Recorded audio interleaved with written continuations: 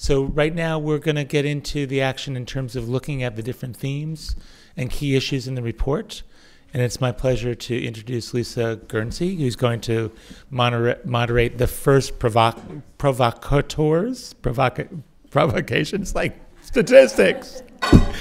um, um, most of you here know that um, Lisa Guernsey uh, heads up, actually, she's the deputy director of the uh, Early Education Initiative and the director of the Learning Technologies Initiative. Oh, okay. Um, but much more importantly than her title, she's a leading journalist, researcher, and policy expert.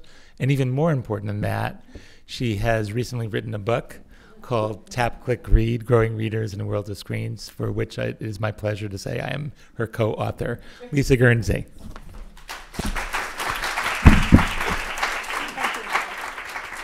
Um, so I'm actually not going to stand at the podium, and I'm going to kind of get us not necessarily moving around, but really kind of get this conversation jump started here. This has been a fantastic morning so far. Um, I'm just I'm thrilled to have heard uh, Chairman Wheeler's remarks, but uh, certainly to be able to go through the richness of this report and this study is, um, is just a lot that we need to talk about. So what we're going to do, let me just give you a little bit of, of what will be happening over the next, say, 80 to 90 minutes here. We're going to try to stay on schedule, and I'm certainly going to try to be a pretty um, heavy-handed timekeeper on this as well. So what we're going to do is I'm going to be um, calling on a, a, couple of people that you see in your agenda. They're going to be speaking for just uh, five minutes, so maybe even less, if I might be able to ask you guys to, to tighten your remarks.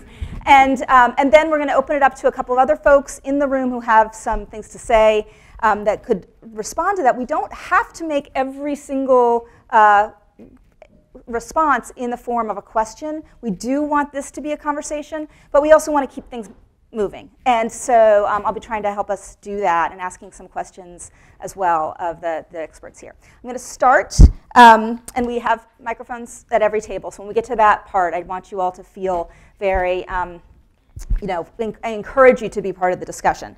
Uh, I also just want to let you know this is being live streamed if you didn't um, hear that already, and we are. There are a lot of people on Twitter who are talking about it. So everything we're talking about here in this room really is we're in a public forum, and I think that's um, incredibly important. So what we're going to do is we're going to start right now with Craig Watkins, who is a professor at the University of Texas at Austin, and he's the author of The Young and the Digital: What Migration to Social, What the Migration to Social Network Sites, Games, and Anytime, Anywhere Media Means for Our Future. So please, uh, well, join me in welcoming Craig to the podium.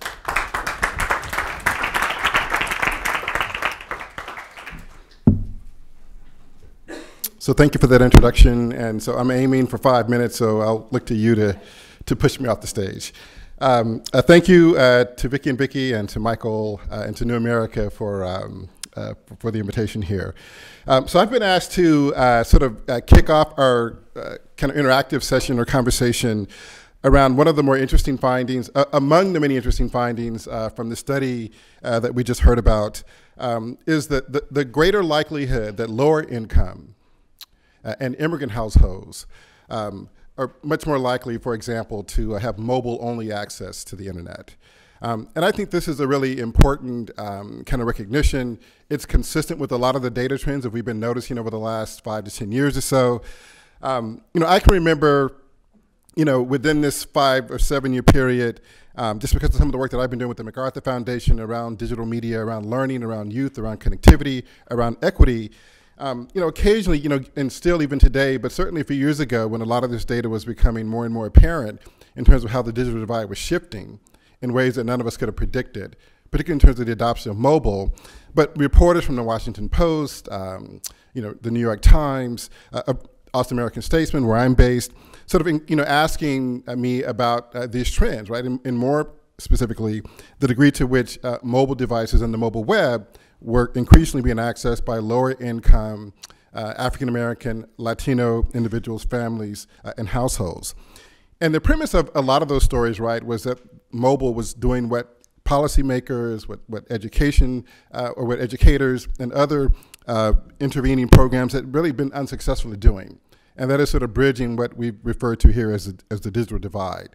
Um, it also reminds me of, you know, just a few years ago when Steve Jobs introduced the iPad to the world. One of the things that he kept saying that day was, it's like holding the internet in your hand. And I was mindful of a lot of the research that we had been doing on the ground around that time, starting with the MacArthur Foundation, and we were noticing more and more kids holding the internet in their hand. But the question that we ask, and that we've asked since then, is what kind of internet are they holding in their hand, right? And what does that internet enable them to do? What are the affordances of that internet? And I think this study begins to give us some insights in terms of what may be an interesting sort of counter narrative to the idea that mobile is sort of bridging the divide. And that is, and I'm going to push us to sort of you know ponder the inversion of that. And that is, is mobile only access in some ways driving digital disparities? And so what we mean by that, right, is the extent to which, one of the data points uh, that, that Vicky Rideout shared was, the, the, I think it was kids growing up in households, mobile-only households, were much less likely, for example, to sort of pursue their interest online. Um, and we've learned from the work that we've been doing with the MacArthur Foundation that this is a critical pathway to developing a lot of the 21st century literacies that more and more people are beginning to recognize are absolutely critical to preparing young people for a knowledge-driven economy.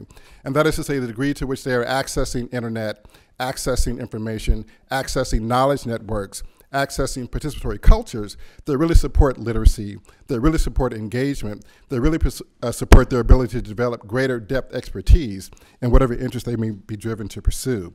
And so as we begin to think about, you know, what it means to be digital in a digital world, what it means to be connected in a connected world, I think this mobile-only access sort of raises a number of interesting challenges for us.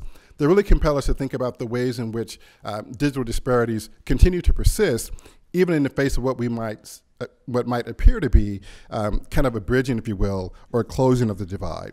So let me just end with, with, with this one example. Um, so we, um, with the MacArthur Foundation, we've done a kind of ethnographic study. Um, we spent a year in a high school. And in that high school, we um, you know, talked to students, we talked to families, we talked to teachers um, from a population very representative and similar to uh, the study that we heard here today. And we were oftentimes struck by um, more and more kids having access to the internet, but also thinking about the kind of home environment, the kind of learning ecology that they had access to, and how in some respects, um, what, what we began to sort of discern is a kind of design disposition that is increasingly young people are going online to learn how to make something, to create something, to, to design something.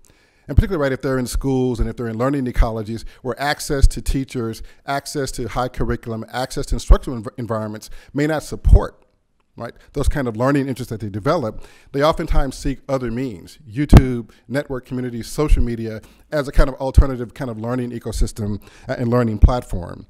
But what we also found, right, is that when kids were going home, right, because they were facing these kinds of circumstances that we hear about today, they weren't able to extend those learning opportunities in a way that was meaningful and in a way that was robust. So I'm getting all indicators that I should stop here, so I will stop. But my provocation is, for, I think the narrative has been mobile is bridging the divide, and should we consider the reverse of that? And, and I do think that that is a really interesting provocation. Um, I think this is where one of the big things is that we're going to be talking about in the next 20 minutes here. So before I start opening it up to some questions, I really do, we have a lot of great industry representatives in the room, and I, I will um, be calling on them in a moment. But I want to turn it over now to, um, to Jaime Casap, who is here as, um, from Google to speak with us. He's Google's education evangelist and um, is, is crisscrossing uh, the world, evangelizing um, education. Let us know what that means, and, um, and I'll keep you to your time. Thank you, yes. Um, and I dressed up for you guys today. Uh, so I'm Jaime Casap. I've been at Google for 10 years, and, and my whole focus of the last 10 years is the use of technology in education. And I just want to, I had a, a, chance to go through the report. Thank you for a, a version of that early. Some uh, very interesting things in the report, and, and this is something I deal with on a day-to-day basis is this idea of technology and education. So I want to lay out a couple of things. So let, I'll, I'll stand here for three hours, so cut me off. The, uh, the first thing is the understanding, the understanding that uh, technology is not something that's new in education. We've been talking about technology for a long time, but I also want to think about from a very positive perspective where we are in the world. Uh, I'm an old guy, and I remember when the access to information that I was able to get to was in the library on, on 51st Street in Columbus, uh, uh, sorry, 50, uh, 51st Street, 10th Avenue, the Columbus Library in New York, in Hell's Kitchen. I grew up in Hell's Kitchen, and as a, uh, a kid who grew up on welfare and food stamps, attended PS 111, uh, education was is your silver bullet out of a community like that, and so access to information is very critical. And I grew up having access to this building where everyone had to use the resources in that building, right? We all had access to that one library. It was, uh, it closed on at five o'clock in the evening. It wasn't open on Sundays. Uh, if you finally got through the card catalog to find that book that you were looking for, there was a good chance it wasn't there because it was the library for me. Every kid who went to PS 111, PS 17, PS 51, PS 45, and everyone else who grew up and lived in Hell's Kitchen.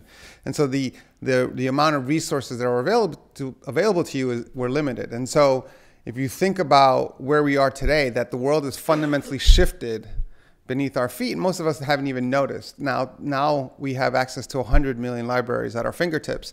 And I'm hoping that a lot of this access, a lot of this uh, uh, access to information is happening at the school level, but obviously home is part of this as well, and we have to think about access that kids have at home. And so quick, I got one minute, so quick two things that I wanna point out. Number one is this idea that you know we have to think about the fact that we've been talking about technology and education for a long time, but what we're seeing is, is a shift in learning models where we're seeing more student-centric learning models. We're seeing more project-based learning models, and those projects are more and more turning into technology-based projects. And so kids have to have access at home to be able to continue the projects. Forget homework, just the idea of project-based learning and learning as a, from a central point of view, a kid is going to have to learn not just in school, not just at home, not just on the go, but in lots of different places. And so that's really important to point out. And to end on a positive note, and I know I'm running out of time here, I want us to remember that this is all exciting because it's relatively new, right? Don't forget, don't remember we used to have to call the internet? You know, like place a phone call to the internet with our home phones, um, and the internet was busy and you were okay with that? that wasn't that long ago, right? And so we're getting to the point now where we, we can actually take advantage of that technology, and we're just at the very, very beginning of this. So I'm excited that we're paying attention to this issue and that we're doing something about it. Thank you, guys.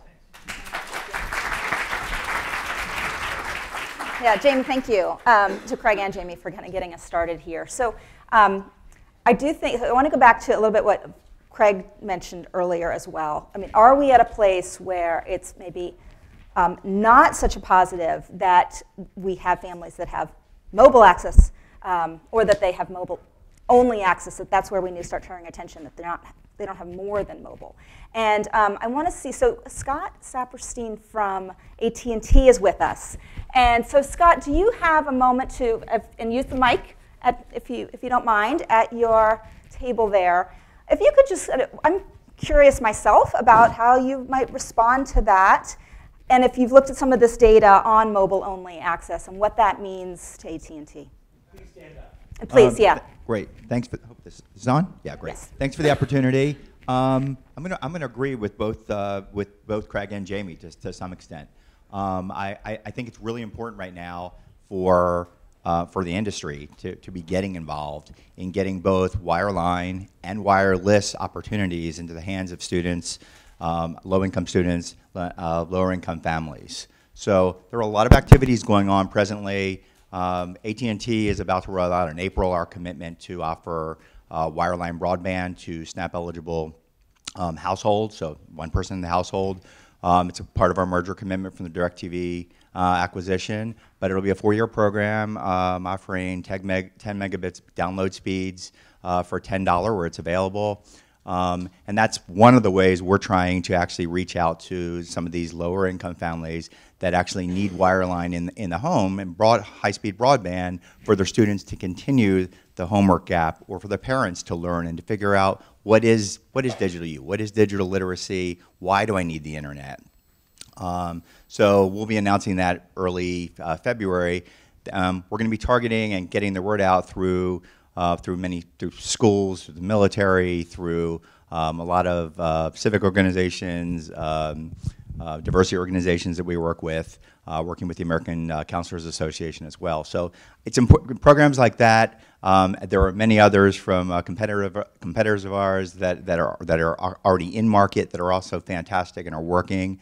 The other thing that a lot of us are all participating in is the White House ConnectED initiative, um, and that was a great initiative to actually get wireless uh, mobility into the hands of students, classrooms, and teachers. Um, we committed um, $100 million to that effort. Um, we've been rolling out on an ongoing basis. Um, and, and, these are putting tablets in the hands of teachers and students, and these tablets can actually then go home with the students to be used for educational purposes. Um, part of our partnership is with, uh, with, with Apple, and part of our partnership is with some of the other vendors where we're providing the, the, the, the data and actually the, the background, the, the software to actually manage you know, what students can reach. Thank you. So um, I, many, many, of you may actually want to ask some, some questions around this. Actually, let me go straight to you then, Vicki. Did you have a response or a? If, if that's okay. And stand up. Go ahead and stand up, Vicki. And it should just it should be on. Okay. Scott, thank you so much for being here, and very happy to hear that AT&T is joining uh, the effort in this way, and that you'll be announcing this soon. I just wanted to see that I'd heard you. The 995 will be a wireline connection for families or wireless. Correct. It's a it's a, a wireline offering in our 21 state footprint, which is our legacy footprint where we offered uh, uh, telephony ser service. So it's a wireline. It's $10 for 10 megs, uh, where it's available um, or or um, or it's five meg if, if that speed isn't available there. Okay. Um, so it's clearly a wireline offering. Is there any chance we might convince you to make it a wireless offering? Uh, um, we can set.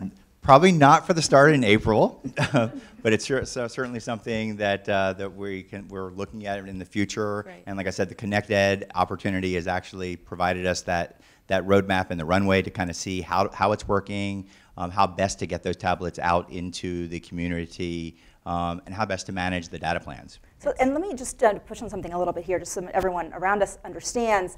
So there's mobile, and wireline, and wireless.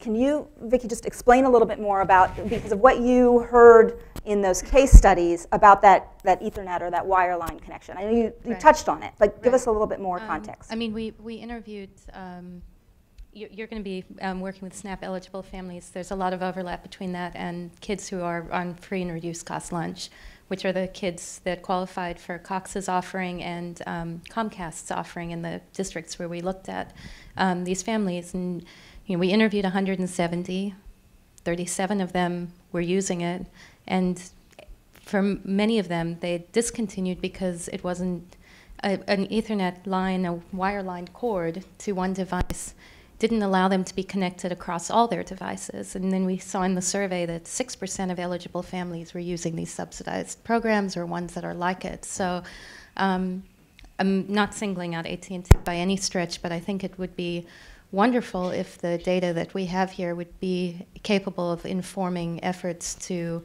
meet families where they are with regard to their needs for not just wireline, but wireless. Okay. Um, access because while mobile only access is not, um, you know, going to allow us to declare victory that everyone has what they need, mobile access is incredibly important to Absolutely. families and right. a big part of meeting them where they are.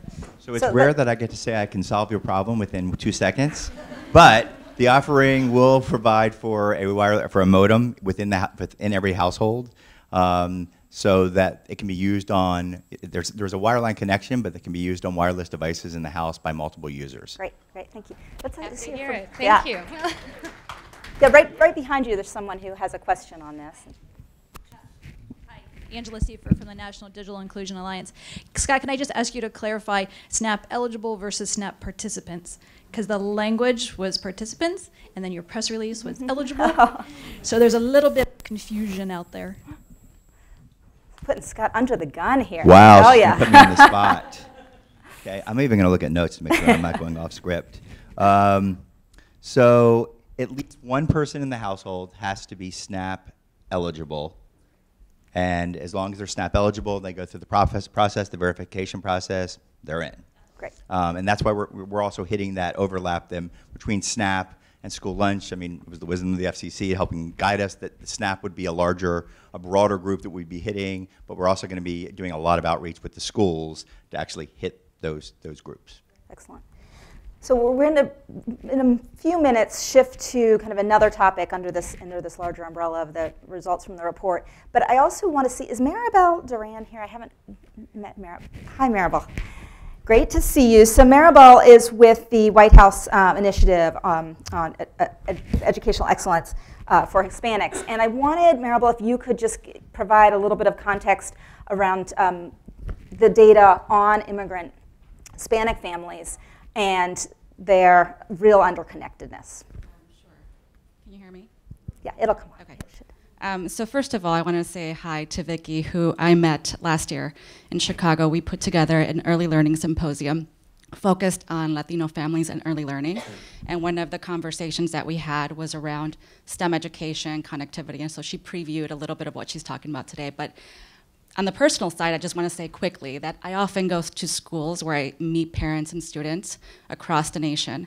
And I often see myself in the faces of these students and parents. As a first generation Latina with immigrant parents, all of this conversation is very um, relevant and it resonates with my personal story.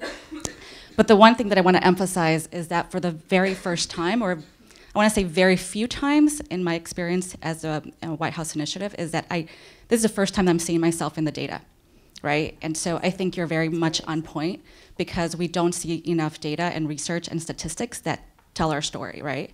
So um, wanted to get that out of the way. Um, the second piece is around mobile connectivity. So the one thing that I come across when we talk about um, access is that Latinos overall, so I know that we're talking specifically around immigrant families, but Latinos overall over-index in mobile use. So I think to your point and the conversation that we're having, there's a separate um, effort around access, and I think we're getting there. The Department of Education has done a lot in that effort. But the, the notion that what are we doing with that access? Because it's very passive use, and that's something that whether it's mobile use, whether it's you know um, accessing computers at home, we're not engaging the students. And that's something that we hear across the country. How are our students and parents using when they do, in fact, have access? So that's something that I would want all of us to think about. How are we engaging these families? The other part um, that I think is really critical as we talk about moving beyond just mobile access and how we're leveraging this, um, these opportunities is what are the tools that we're providing these families? So I'm pretty sure that it's not for a lack of not wanting, um, but it's they don't have the resources, even the language. They don't know what they don't know, right? And so when we talk to parents, they don't know about the resources and the capabilities that um, their students, their children can how, how they can maximize these tools because they don't know what to ask for. So I think that's the other part um, that I think we hear pretty much everywhere we go. So I don't know great. if that answers no, your question. That's great. And are there others in the in the room right now that might just want to add to that or are thinking about immigrant families in particular? Yes. And if you just introduce sure. yourself. Hi, I'm Karen Hansen. I'm with the Department of Commerce, and I worked on our Broadband Technology Opportunities Program. I had the privilege of working on the broadband adoption portfolio, and uh, it's almost a bit of a provocation, which is to say that I worked on the program when the the Comcast Internet Essentials program was rolling out. And what we saw is that a lot of the community groups um, the grantees were essential to helping the families actually navigate through the mm-hmm. application process. So there's one thing, it's one thing to make these programs um, available, it's a whole other thing to make them easy to access and easy to use. And uh, so I just want to throw that out there for those who are looking into this. The role of the libraries, the role of the community-based organizations, the types of connections that you're making with the actual uh, people on the ground who are going to be helping these low income families adopt it is absolutely vital and critical. Yeah, thank you. And I, I, want to take a moment actually to call out some of the work of the Open Technology Institute here at New America on just that issue. Um, and Sarah Morris will be speaking in a moment, and maybe Sarah, you can reference it as well. But over several years, uh, many of our um, the field people here who really do go out in the field and understand who the community organizers are and who the experts are on the ground have been helping to try to build those links um, between just providing access and actual real usage and real empowerment from it. Um, and so I'm really proud to, to learn from my colleagues in that. I know that there are many others of you in the room who are doing the same, and I think it's critical. Um, so I think what I might do right now is I'm going to shift us to the second portion then of, of this discussion, where we want to talk a little bit more now about broadband adoption and, and what policies can really help to promote and sustain that for all. I'm going to first call on our, um, one of our uh, attendees who was, um, we're very pleased to have with us Zach Leverenz, who has been in the trenches uh, working to expand broadband access as the founder and CEO of EveryoneOn. Um, and everyone, as many of you in the room know, have been really, they've been working pretty hard to foster some private-public partnerships around this issue. So Zach, where are you? There you are. Okay, so yes, thank you very much, and I'll give you five minutes.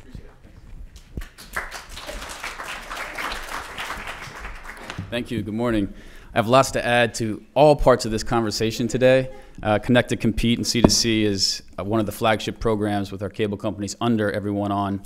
Um, but I'll hold that because my for the uh, for the conversations uh, in, in responses in, in, this format because my mission today is to be a provocateur and to talk specifically as fast as I can about one one issue. Um, and I also take Chairman Wheeler's statement very seriously. You know, state a truth, issue a challenge. Um, provocateur uh, titles are you know probably fun but not advisable in most cases. um, but I'm going to jump right in. Educational Broadband Service, EBS. Um, how many, just by quick show of hands, know what EBS is? Okay, about half or less than half of the room. Uh, educational broadband service is a band of spectrum, 2.5 gigahertz spectrum, that was issued in uh, about 50 years ago by the FCC to uh, nonprofits, education institutions, religious organizations as a public asset uh, for educational purpose and social goals. Um, it was at the time called IFTS, Instructional Fixed Television Spectrum, and it was, to be honest, uh, not that valuable. It, this is TV in schools, if you remember TV in schools, right? Um, well, what happened was, as it does in this space so often, technologies changed. There was innovation. And in 2004, the broadband capability of that band of spectrum was realized. So now all of a sudden, I, I read somewhere, uh, someone, someone put it, I thought pretty well, you had a swampland that became a luxury beachfront property. Extremely valuable. Most, uh, some estimates, now none of this is uh, public, you can't find it, I've been researching for two years, but most estimates put the value of the 2.5 gigahertz spectrum at around $14 billion. $14 billion. Um, when the FCC allow, uh, uh, allowed for the EBS licensees, that's what these nonprofits are who received the, the spectrum, to, uh, uh, to inherit the new capability of the spectrum, they also allowed them to lease that spectrum to commercial ISPs, internet service providers. 95% could be used for commercial purposes in those leases. 5% had to be reserved for social, that education purpose. Um, so there were three really key rules that accompanied that for the licensees. One, that 5% had to be reserved for educational purposes. Two, uh, there was a substantial service requirement, which is broadly defined, uh, but essentially means that about 20 hours per week per channel had to be uh, utilized, active, per, uh, for each license. Uh, and then it was a max 30-year lease, which is a pretty long time. Uh, Sprint and Clearwire, formerly Clearwire, became the primary holders of those leases. Um, so that's great, right? We got $14 billion worth of public asset that's been assigned to nonprofits. Some of them are digital inclusion nonprofits, education organizations, and at least 5%, which is pretty substantial amount of that $14 billion, should be reserved for educational benefit, correct? Uh, the reality has been very different. The fact that only half or less than half of this room knows what EBS is uh, gives some signal to, uh, you know, as to how underutilized that public asset is. So what are the problems? There's really, well, let me talk about the symptoms and then get to one core source problem, and then I'll be very quick. Um, one, no transparency. No one knows what's going on. No one knows how those licensees are using the spectrum or if they're using it.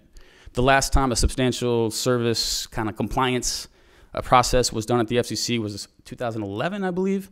But, but even then, uh, there was very little um, substantive uh, information for the public on how that public asset is being used to do anything. I don't care if it's digital inclusion, to be honest. I just want to know what, those multi-million dollar leases that the nonprofits are receiving every year are, is being used for? What social purpose is being achieved? That's our right as the public.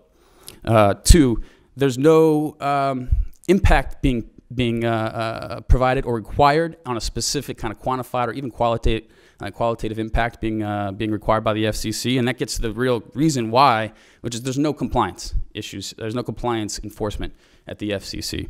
Um, there's also, if there's no compliance, that leads to this misincentive or perverse incentive structure where you have leasees who don't know much about broadband capability. There's some that do, uh, who all of a sudden landed in this gold mine and, and, are, and are being approached by ISPs with you know, 30 year, $7 million per year lease agreements, which uh, for a board of trustees, you know, you only see the immediate future of the you know, viability of your organization, and they're, and they're taking it.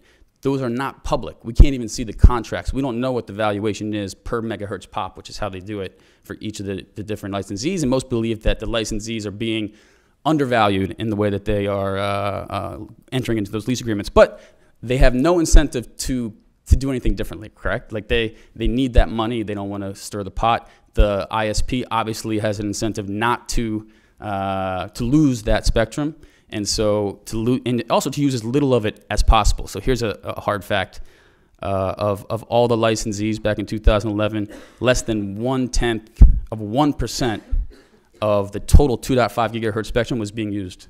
So that's a, that's a, that's a problem. So my call to action, and I know I'm, I'm got to get out, is make, let's make it transparent. Let's demand that it be transparent, and let's also get uh, uh, you know the, the, the impact to be realized. Even if it's just on education versus digital inclusion, we have a right to know, and it's, and it's a $14 billion asset that's right under our nose right now. So thank you very much.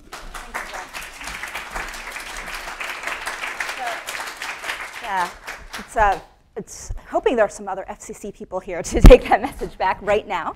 Um, let's bring up Sarah Morris, who is my colleague here at New America. She is senior counsel for the Open um, Technology Institute and director of Open Internet Policy. I'm going to grab one of these waters, which are so conveniently sitting up here. Hello, everyone. Thank you all. Um, thank all of you and our partners for joining us today.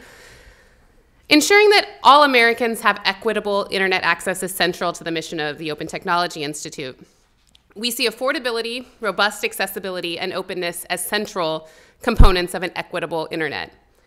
Our research agrees with other research you've seen presented this morning. Americans continue to lag behind in terms of both speed and cost of access. Without even looking to the challenges specific to low income households, as a country, we are starting out a, at a disadvantage. And as we've seen, the picture is even darker for lower income communities.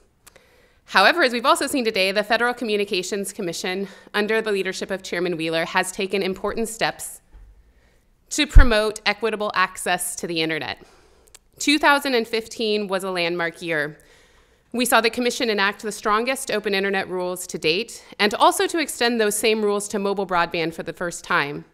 This is tremendously important because, as we've seen here today, low income communities and communities of color tend to rely primarily or even exclusively on mobile broadband to access the internet. Parity in the open internet rules ensures that everyone on every device has access to an open internet. The Commission also paved the way for communities to self provision their connectivity. As our research indicates, the American cities with the most robust and affordable connectivity are those with strong municipal networks. I think you'll hear more about that later today as well. And these two orders came after an extensive series of proceedings to modernize the FCC's E rate program and ensure that libraries and schools around the country have access to affordable broadband. But this work is not done. Among low income families, as we've learned today, even those who are connected are often underconnected. An article from Ars Technica just yesterday noted that over 16 million Americans still do not have access to internet at speeds of even 4 megabits per second down. The broadband affordability gap has not closed, and we have not yet developed a systematic plan to promote broad digital literacy efforts and ensure that community anchor institutions have the resources across the country to serve as an interwoven network of social infrastructure for their communities. Though we've had some good starts. So, what's next? the FCC's efforts to reform the Lifeline program are a critical step. The time has come for the program to enter the digital age, allowing recipients to use their Lifeline support for broadband. We are anxious to see how the details of the reforms play out. Um, we hope that the FCC will be able to ensure that offerings through the Lifeline program are robust and comparable in speeds to non Lifeline offerings, and not a second tier internet service. And affordability is only one piece of the problem. We must support non adopters as they come online through thoughtful digital literacy training and support for anchor institutions. We must also, also ensure that baseline consumer protections, including privacy protections, are part of all broadband service offerings, not limited to those who can afford to pay for them. These are not just FCC problems, these are problems we must work together to solve, lifting up best practices, identifying more resources, and synthesizing federal efforts in a systematic, effective way.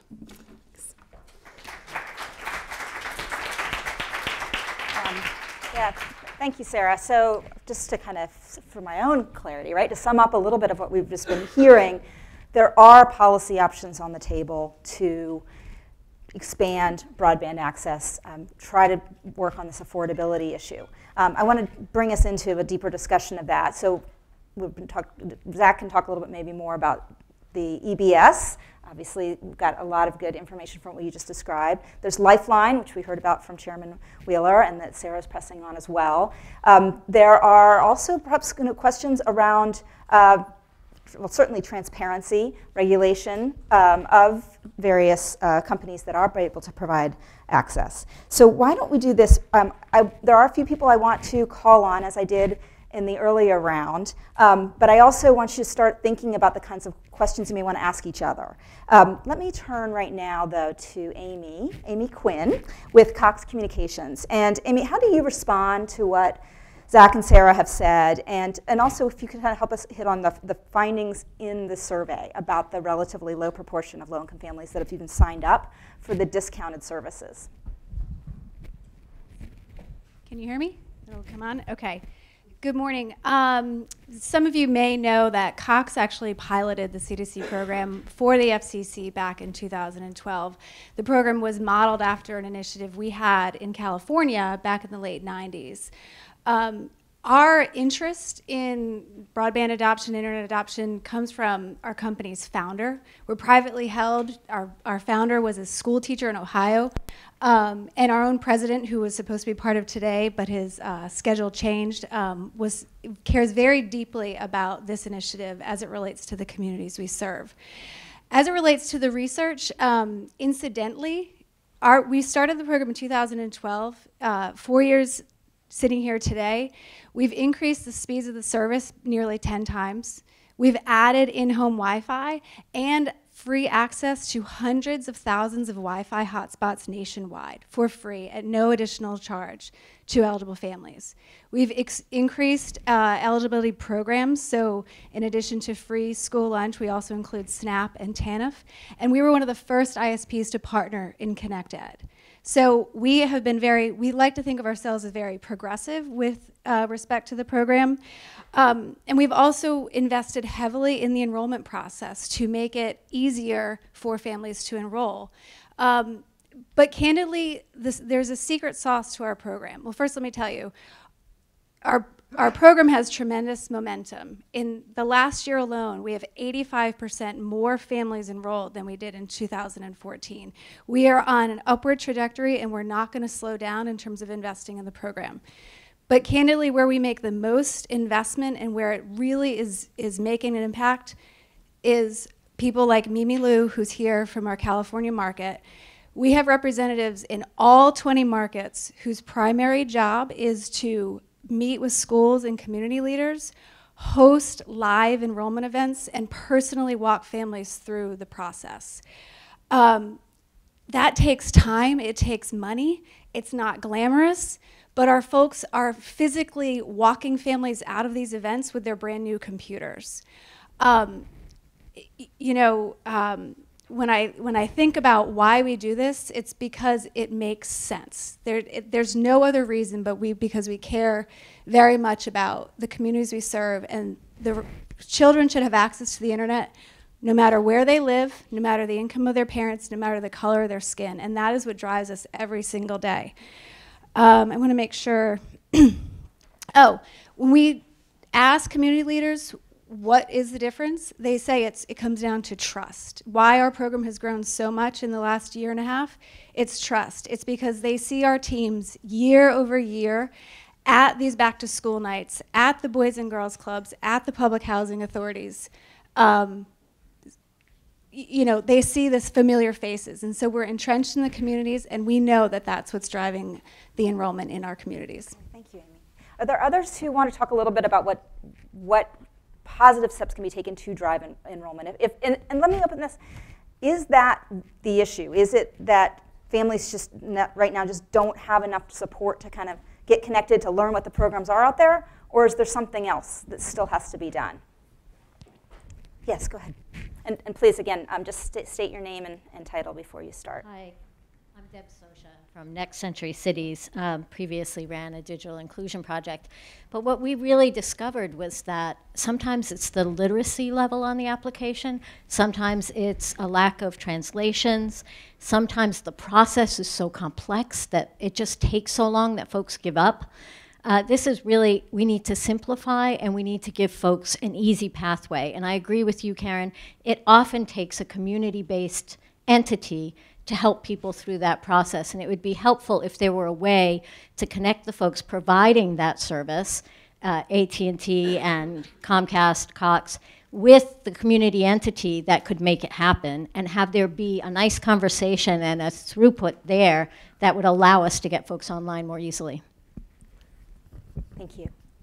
Thanks so much. I think we'll hear a little bit more from Deb um, later as well. Um, I also just want to throw out there, I mean, obviously, like, yeah, or is it cost? right, affordability, we need to have in this conversation as well. Vikki, did you want to make a point? I just wanted to add um, one, one thing just about some of the, um, I, am delighted to hear that uh, some of the process for application has been streamlined and so forth. So, two of the things that we heard very often from families about difficulties with enrollment. Uh, one was uh, that if they had any history of debt with the company, that they were not eligible for the program, which for low-income families is just a reality of life. If you're picking between the lights um, and internet, at some point you're going to have debt. Uh, so a lot of families were immediately not eligible for the program. The other thing that we heard in different districts was that if they were existing customers who were paying a higher rate uh, than the $9.95 a month, they had to cut off connectivity for either three or six months, depending on where uh, we were.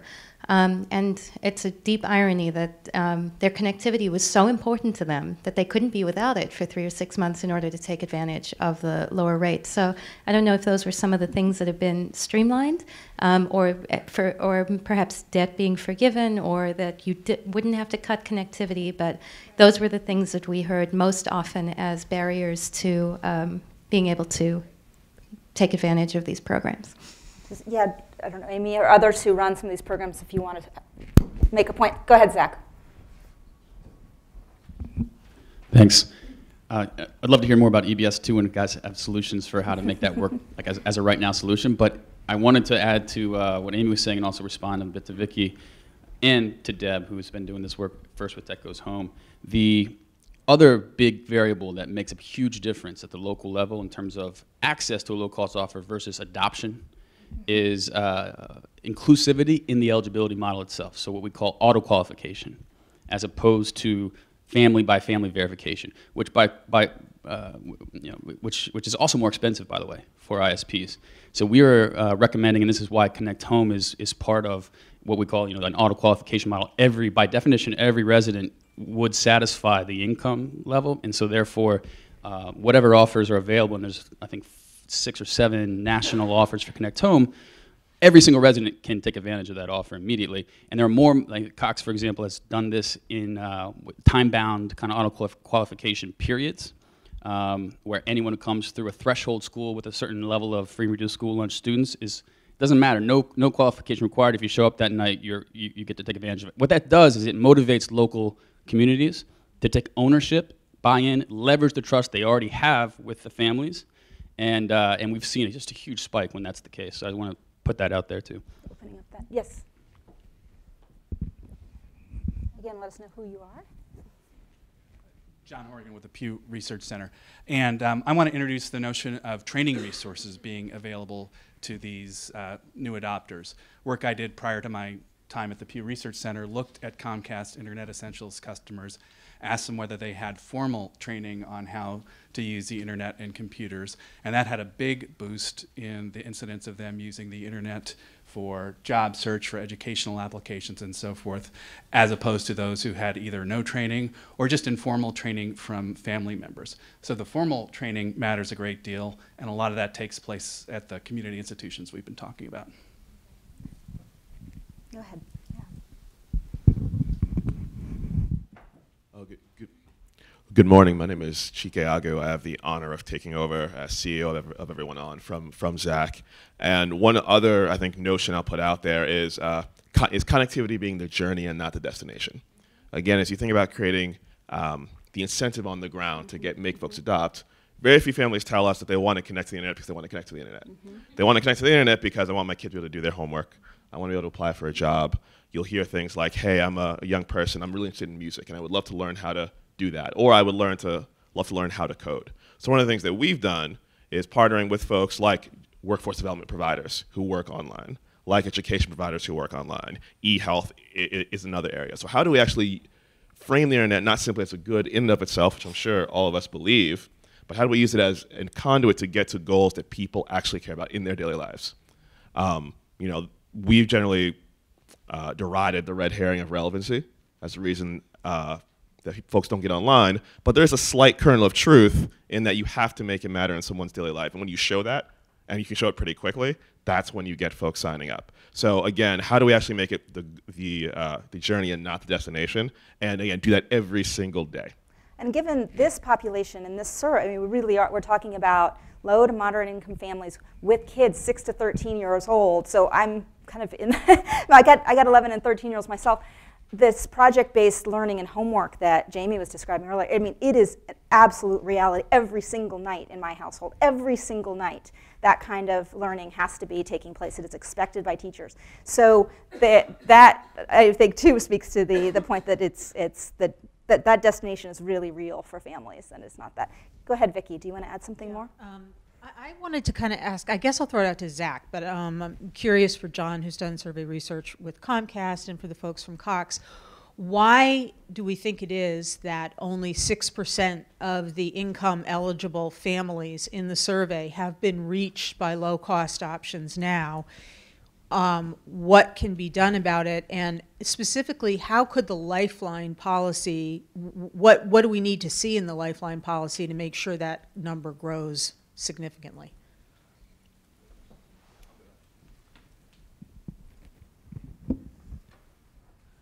You know, I, don't speak for Comcast, but having been in this field for a while, um, it goes to um, what our representative from Cox was saying. It takes persistence, patience, and investment at the community level to provide that level of trust so that people uh, rearrange their budgets, do something different, and take advantage of a new offering. So I think that's true for um, whatever offerings are out there. I, I, think that was probably the experience with BTOP when uh, the government was making these sorts of investments. So it's a longer term and just more protracted and difficult process than I think a lot of people uh, appreciate.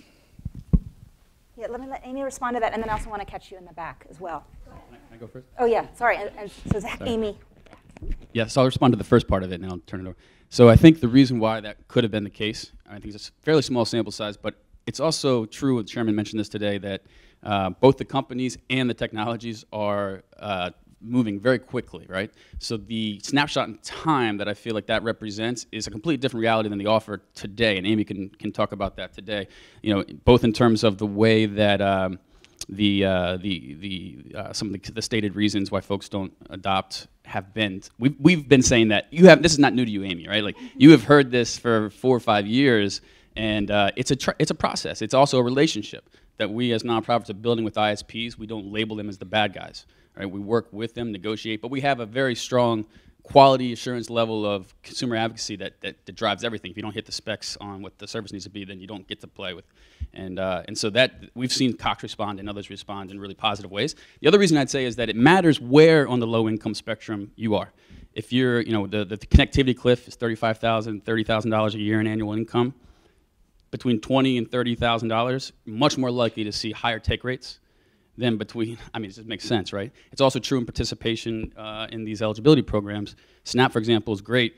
Um, very low participation among the total eligible population. So it's 135% of the poverty line as an eligibility standard.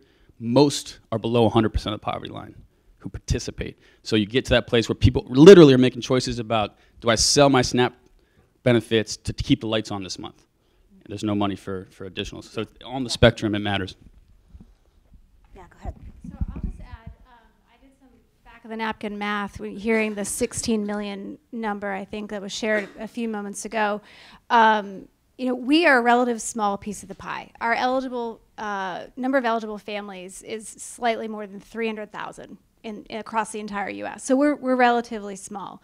Um, but I think we can learn from how, even though how we're small we are, you can learn how we are reaching those families. So the number one is is through the schools. But we've also in the last year, I didn't mention earlier, we've invested in very targeted grassroots marketing. We invested in a whole uh, smart tools for school marketing campaign that specifically we had a, an agency that had experience in working with the low income segment um, developed this campaign that included a variety of assets that we uh, placed in targeted communities. So billboard or bus shelter ads on buses, um, you know, reaching the families where they are in the communities, and then taking that and partnering that with the live enrollment events in the schools, that's how we believe we're going to continue to reach more and more of the eligible population. Great. And let's, I want to make sure we catch you in the back and introduce yourself we know from John's research with Comcast and we know from the BTOP stuff that it's trusted intermediaries. I'm really sorry, but I don't think it's, I, I don't think what we've learned is it's real people and real people are expensive, right? So paying those local organizations, the libraries, the schools are important, but it's also the community centers and the senior centers, the people where there's somebody that you trust, but we have to pay that person to do that job, and that's that's, I think that's where the whole crux of it is. That's how we increase the 6%. Did you want to? Actually, yeah, you go ahead and then we'll catch you. So thank you, Cox, for being here as well. I'm Ernesto Villanueva. I'm an executive director in the Chula Vista Elementary School District. We're the largest K-6 district in the state of California. And um, I think I go back to what is a common theme, which is relationships. And I think about, we, we have a term, we have promotoras, uh, local advocates and local people that go basically door to door. And I think about how it, when I think of Cox, and I live in that same community, I have a very different relationship to Cox. You know, my, my bills are paid, and I don't have to make those very difficult decisions that I had to make when I was a child, that my parents had to make. And so I think when we go back to that trust piece, I can understand kind of letting someone in the door that maybe I owe money to already isn't going to be the first action that I take or the applications. I remember going through the applications at one of our schools at Harborside. And one of the things that we found, and, and it's not necessarily Cox, but I, hopefully people in the room, is that there were people that definitely deemed themselves as low income that didn't qualify. And they were kind of that stuck in the middle. And so um, I, I appreciate the comment earlier because I see myself very much in this data. And so I go back to relationships and trust.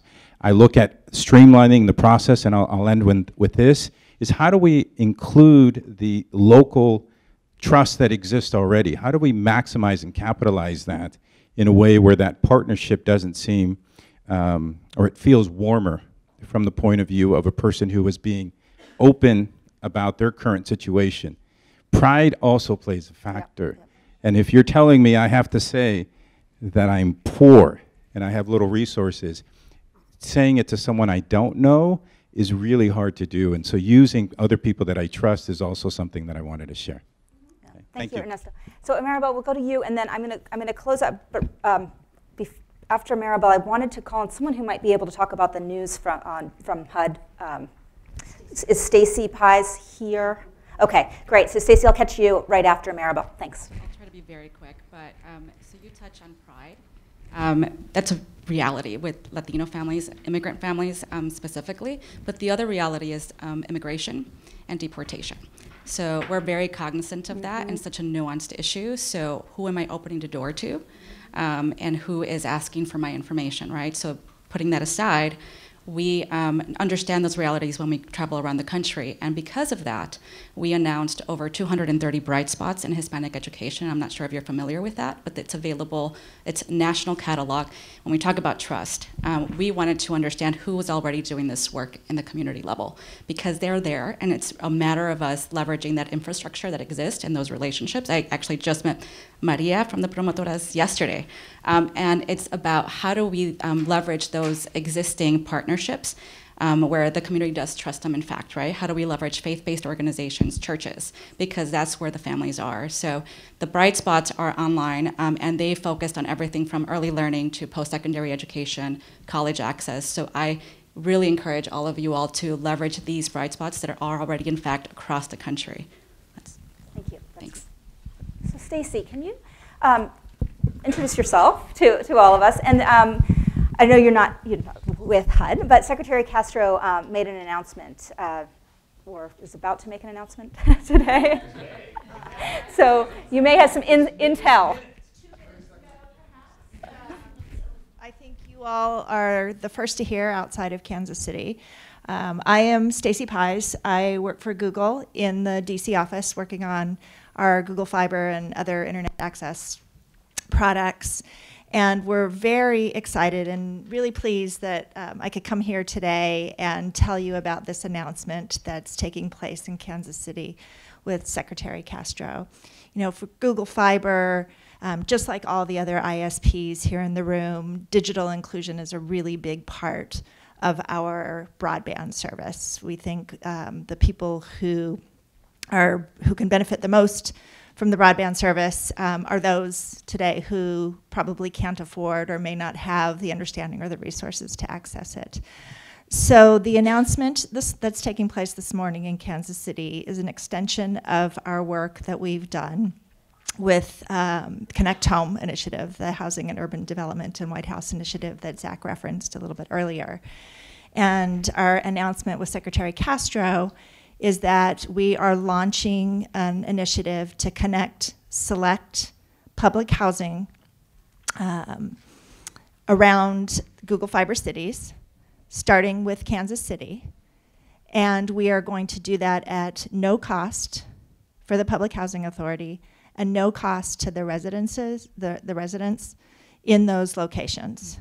So we're rolling it out first in Kansas City, and then we will be going city by city, working with community leaders to determine which public housing groups um, we should start deploying the fiber to in all of our Google Fiber cities. So I can share some statistics with you. I have to read real them. quickly though, because we're going to move on to okay. something, and, and we'll have some time after the break as well. Okay, great. Um, so in Kansas City, we're looking to connect nine properties, and we plan to reach more than 1,300 families in the metro area. Uh, working to extend the work that we've already done in the city of Austin. We believe, uh, working with the partners that we have today, to invest in computer labs and digital literacy classes, as well as access to devices, which a number of folks have mentioned this morning, will grow the program beyond just the connectivity. And we're really excited about it. We think it's a, a huge path forward. And one of the things that we think is so great about it is it's not the same as, but complementary to the work that the other ISPs are doing around the country. And we can all learn from each other ar- about the successes and where we need to um, work on improving the process. Thank you. That's really interesting news, and it's great to be able to kind of help break that news here, at, here at New America. Um, we have just a, about 10 more minutes, but what we want to do in this last part is shift to a discussion of, of some of the privacy implications um, that come with uh, online access today and what that means for low and moderate income families. So I want to introduce uh, to you Claire Gartland, who is Consumer Protection Fellow at the Electronic Privacy Information Center. Many of us know it as EPIC. And Claire will speak for a few minutes, and then we'll have one more speaker.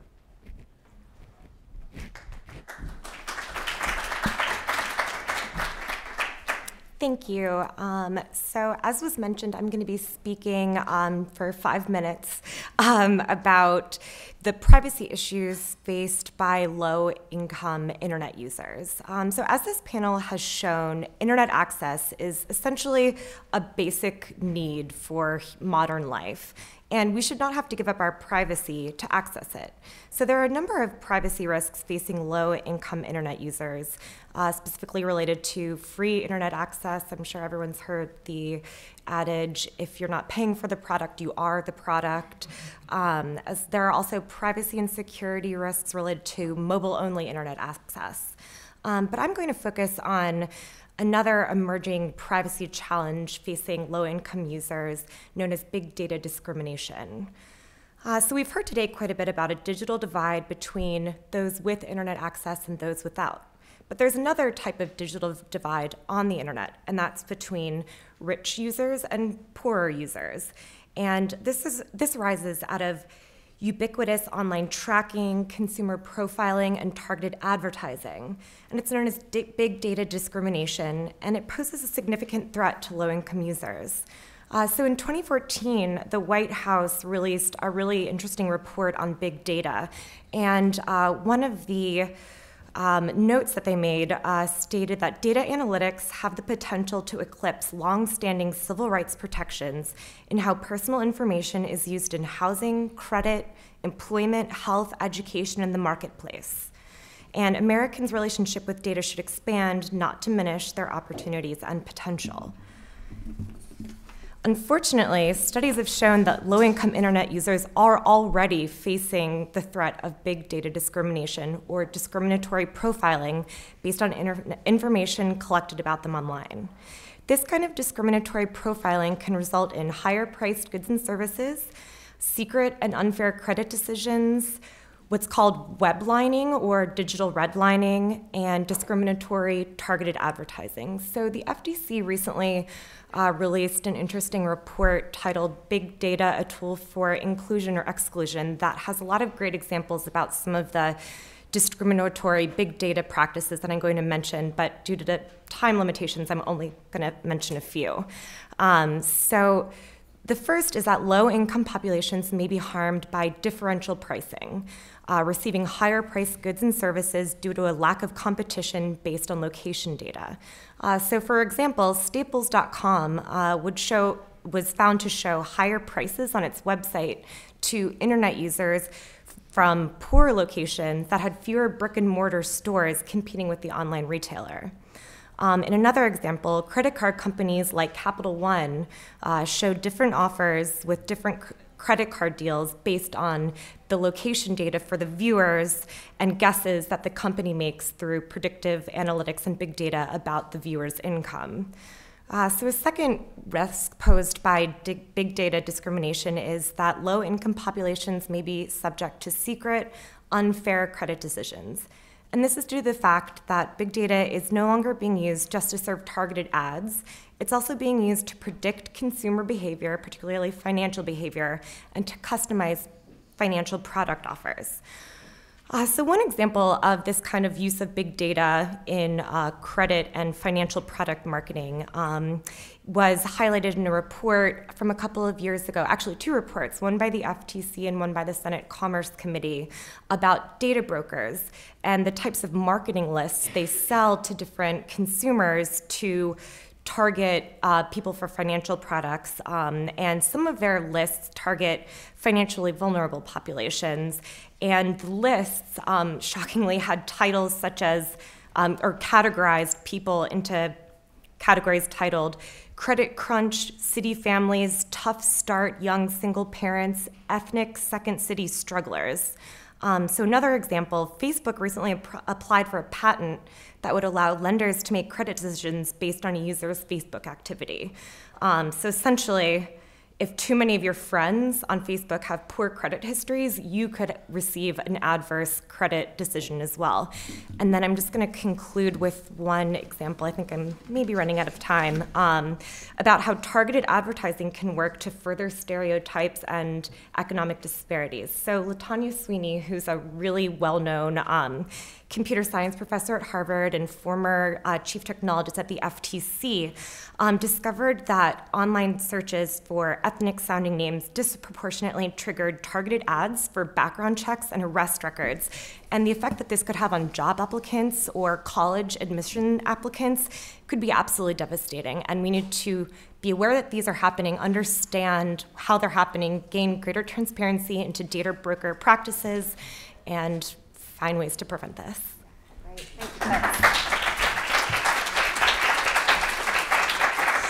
Um, Mary Madden with, is with Data and Society, and she'll be giving just a few minutes worth of remarks, and we'll open it up to maybe one or two questions, and then we'll, we'll take a break. So, Mary, um, it, happily, um, Data and Society, they have, they're kind of embedded here at New America, and we're happy to have her. Yes, I just had to walk downstairs um, to come here today. So thank you so much for having me. And um, I am the person who has to be the most time crunched here, so I will try to be cognizant of that.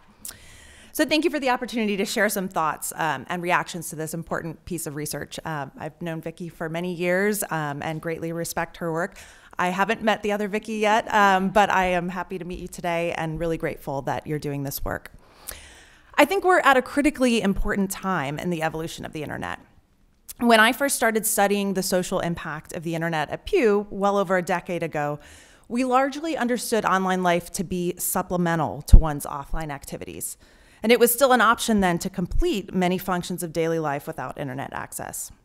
But today, as the findings from the study so powerfully illustrate, families understand that this high quality access is an essential gateway to educational and social connectivity. And parents realize that these opportunities that their children will have for future economic mobility will be affected by the access to the digital resources that they have today. And yet, as much as we value our connectivity, Americans also feel increasingly conflicted about the privacy related costs associated with online life.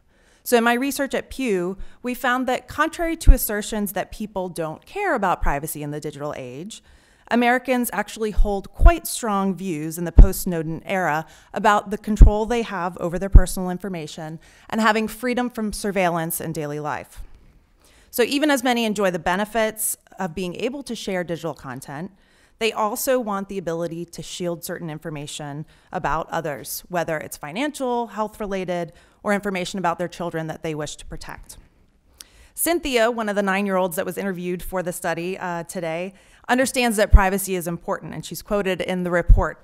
She noted the way her parents have cautioned her about privacy and security risks when she said, quote, they have to help me so that I don't get into problems that hurt my family like applications that ask for your identity. The risks that Cynthia and her family are worried about are not unique to low income families, but there are growing concerns, as Claire just noted, about uh, certain forms of big data driven analysis and decision making that do have differential impacts on the poor. However, privacy related harms are notoriously difficult to prove but increasingly easy to create in a world where employment, education, and even policing decisions are being affected by input from our own social media activity uh, and that of our network. So it's not just about what we choose to post ourselves, but what our network posts. And the effects, those network effects, are quite different, and it's changing the way we think about privacy related harms and vulnerabilities. It's also true that mobile devices do present unique harms. Uh, and so this reliance on mobile only access has uh, implications for the ways in which people are vulnerable when they download leaky apps or uh, rely on unsecured wireless access. So I've been told that I need to stop, um, but I didn't want to close today without mentioning that uh, the research that I'm currently conducting at Data and Society is trying to wrestle with some of these questions. And so we are specifically focusing on understanding the intersection of socioeconomic status, technology practices, and attitudes. And our uh, survey that we're conducting now includes a sample of 3,000 adults with an oversample of low income families. Uh, I wanted to share just a few quick uh, points, and I promise I will finish up. Uh, just about what we're seeing in some of the preliminary findings, okay? Um, which is that there is a disconnect between uh, the confidence level that parents have in their own abilities. Um, so we talked a lot about parents working together with their children, um, and and the uh, the access that they have to resources to support privacy and security related education. Okay, so they are very concerned about privacy related risks for their family. They don't feel that they have access to these resources. So to John's point about access to formal training and education, I think it's critically important so we make sure that privacy is not a luxury good in the future. Thank you. Thank you, Mary. Um, I, I, I, failed to mention there is one person I'm hoping to call on very, very quickly. Danny uh, Weiss with Common Sense Media. I don't know if Danny's still with us. There he is. Okay, yes, thank, I, I know that, that privacy is, a, is an issue that Common Sense Media has been um, grappling with as well. And I uh, wanted to hear a little bit of your response. I am Danny from Common Sense Media, but I'm going to turn it over to Ariel Fox Johnson, also from Common okay, Sense Media. Okay, great. Hi, um, we just want to sort of echo a lot of what everyone has just said. Privacy shouldn't be a luxury good. Parents should have the tools that they feel that they can use and access to protect their kids' privacy online, and Common Sense does a lot of work in those efforts. Um, I think it's important here that we should think that as we're expanding broadband and opportunities for people, we can expand privacy protections at the same time. It's not a zero sum game, and broadband should be a good opportunity and positive things for kids as broadband gets expanded, not just another opportunity for digital discrimination or new redlining or problems, but I think we can all work together and achieve good things here. Great, thank you. And I hope that, uh, yeah, people can kind of echo those research as well. Sorry, um, Vicki had mentioned there's one other person we wanted to check in with. Yeah, there, just before we go to our break, and then we're going to have a number of really interesting sessions after that. But I, we have Karen Hansen here from NTIA, and you spoke briefly before. But the, can you talk a little bit about what's in the Broadband Opportunity Council report that might help expand funding for digital inclusion, and and even what you would, you know, what you would hit as the priority items in that? Yeah, thank you so much. Um, so I'll start with the past to get to where we are today. And I, the BTOP program has been mentioned, and it was really unprecedented in its size. It was $450 million that went to public computer centers and sustainable broadband adoption grants. So 20 million uh, training hours, 4 million people trained, a lot of capacity was developed in libraries and cities and public housing authorities, and many of the grantees have found ways to keep a lot of those activities going, but clearly a lot of them also had to cut back. So one of the things that, um, that we're doing uh, across the government, and President Obama and the administration is very supportive of broadband, not just as uh, it, the means in and of itself, but as the uh, gateway to health, uh, health impacts, social impacts, economic impacts, uh, the Broadband Opportunity Council was created last year, and it's an interagency group of 25 different federal agencies, all of the usual suspects that you might think of who have taken uh, the steps of looking at where in their programs they can make it more explicit that broadband is a priority, that digital inclusion is a priority, and that it should be integrated into the funding streams of ongoing federal programs. You know, we, we realize there's probably not going to be another Recovery Act, there's not going to be another $450 million of dedicated funding, but the Department of Labor has ongoing work, uh, ongoing funding of workforce investment programs, and they're going to be issuing guidance to their job centers that broadband connectivity and digital literacy programs are eligible um, in, in terms of funding. Th that's just one example. There's also, um, and I think especially for this group, could be of great interest. Uh, the broadband research agenda, there's one of the action items we are um, going to be convening in conjunction with the National Science Foundation, groups of researchers and practitioners to really explore where the unanswered questions are and where we need to prioritize research, not just from the federal government's perspective, but from uh, private philanthropy, from others who are interested in this. So we will certainly welcome um, you, the researchers, and anyone else who's interested to participate in that process. But I really do encourage you to look at the um, Broadband Opportunity Council report. NTIA is the co-chair. Um, I see my colleague here from IMLS, um, and we're really committed to making sure that the whole of government is doing everything possible to make more opportunities available for communities across the country. So, thank you. Just to sure. put you on the spot for one second, but what do you think about the EBS idea? You know, um, that's not my area of expertise. Um, but it's, you know, I, I think Zach did a great job of being a provocateur. so I, I look forward to hearing what others say about it. Okay. Thank you. Yeah, thank you, Karen. Um, so I think what I'll do is actually go back on my word and say we won't take questions right now uh, because we, I think a lot of us will want to take a break, but there's going to be a lot more discussion and opportunities. So let me just say a big thank you to you all and let's give us all a round of applause. And um,